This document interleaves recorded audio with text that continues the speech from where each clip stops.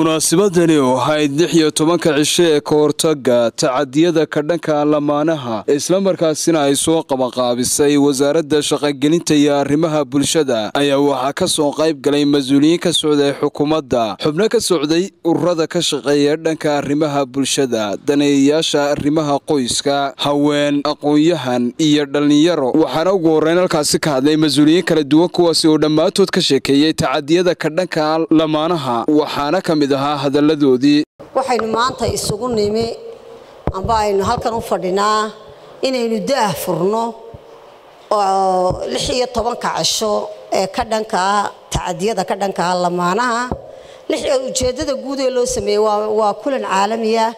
Dhammaan adduun weynaha laga sameeyo la xuso. Somalilandna xusidda caalamiga ayay la mid tahay.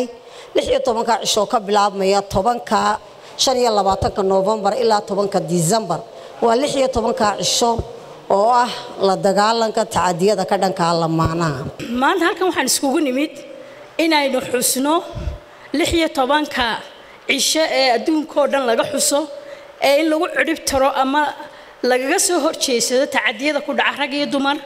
Hadday yihiin carruur iyo haddii rag iyo dumar dad waaweynma yihiinba. Ayaynu maanta halkan in lagu furo xafladdaas ayaynu iskugu nimid maxay leedahay? Markaaynu isweydiino mudnaanta ay leedahay. Maxaa lix tobankan cisho loo astaamiyey lix tobankan cisho waxaa ku jira maalmo kale oo iyagana xaquuqaadka aadamiga la xusayo oo siday ka mid tahay dadka naafada ah ay ka mid tahay xaquuqaadka caalamiga. Beenana intaynu qurxinana. Wax qabadku wuxuu noqonayaa dee wax fiican. Labada kun oo geed waxaa laga yaabaa inay shan boqol oo geed ka soo baxdo marka markaynu doonayno wax qabad aan leenahay waxa weeyaan waa tangible things wax la taaban karo la arki karo. Weeyaan wacyigelin aad u ballaadhanna bulshadu runtii way u baahan tahay. Oo waxa weeyaan waxa laga hadlaya waxaad moodaa wax yaro yacniyahoo mashaariic iyo projects iyo lagu soo qaadqaatay. Waxa bulshada iyo qaranka wax yeeli karaba dadkeennu uma haystaan.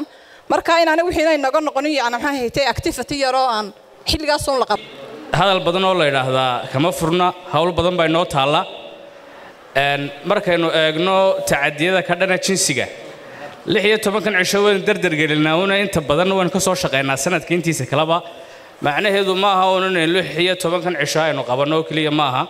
Ee waa waxaynu sanadka oo dhan wadno lix iyo tobankan cishona aynu dardargelinno runtii waxa weeyaan waa wax maalinba maalinta ka dambaysa aynu odhan karno way sii badanayaan in aynu la dagaalan adag la gallo oo aynu joojinno oo aynu yareynana waa wax innaga oo dhammaanteen isku duuban. Iyaguna geestooda waxaa halkaasi ka hadlay agaasimayaasha guud ee wasaaradaha warfaafinta dhaqanka iyo wacyigelinta iyo weliba wasaaradda shaqogelinta iyo arrimaha bulshada kuwaasi oo ka hadlay muhiimadda ay leedahay lix iyo tobanka cisho ee ka hortaga tacadiyada ka dhanka lamaanaha. Waxaana ka mid ahaa hadalladoodii runtii wasaarad ahaan wasaaradda warfaafinta dhaqanka iyo wacyigelinta. Waxay u xilsaaran tahay inay wixii inay la shaqayso wasaaraddan qoyska kale sidii kor loogu qaadi lahaa wacyigelinta. Anagu waxa weeye shaqadeedu waa wacyigelin. Micnaheedu waxa weeye civic educationka in kor loo qaado oo dadka bulshada laga dhaadhiciyo dhibaatooyinkan ay keeni karayaan runtii lamaanaha iyo tacadiga ka dhanka. Ah waxaa jira waxaanu ku shaqaynaa qorshaha qaranka. Dalkan wuxuu leeyahay qorshe qaran buu leeyahay marka anagoo fishinkaa eegayna oo yoolkaa eegayna sidii aynu markaa wax uga qaban lahayn wasaaradda dabcan loo xilsaaray arrimaha qoyska iyo bulshada waxa weeye wasaaradda mesaf annaguna inaanu ku daba joogno xaggii wacyigelinta inaanu qayb ka qaadanno aanu gudbinno waxqabadkii dowladda iyo wixii loogu talagalay. Maanta waxaynu bilaabaynaa barnaamijka lix iyo tobanka cisho ee ah tacadiyada ka dhanka ah haweenka iyo dadka nugul. Marka haddii ilaahay yidhaahdo maanta laga bilaabo ilaa tobanka disembar waxaa inoo socon doona barnaamijyo wacyigelina.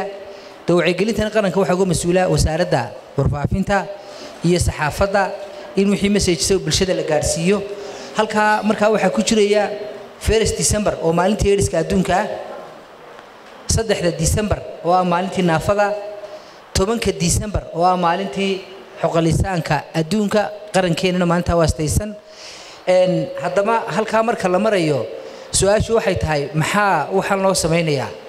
Su'aashu waxay tahay waxaan loo samaynayaa? In dhibaatooyinkii jiray bulshadeenna wacyigii la gaadhsiiyo warkii la gaadhsiiyo xaaladdii la ogaado tacadiyadii maxay yihiin?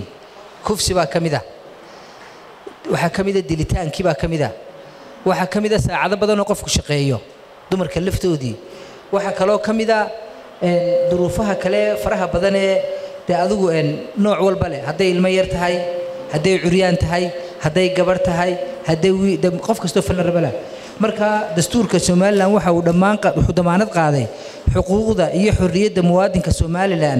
Haddaba xukuumadda somalilan waxay bilaabaysaa wacyigelinta lix tobanka maalmood ee lagu xoojinayo dhowrista xuquuqda aadamaha gaar ahaan sidii loo yarayn lahaa tacadiyada ka dhanka ah dadka nugul. Maxamed cumar daariq star t v hargeysa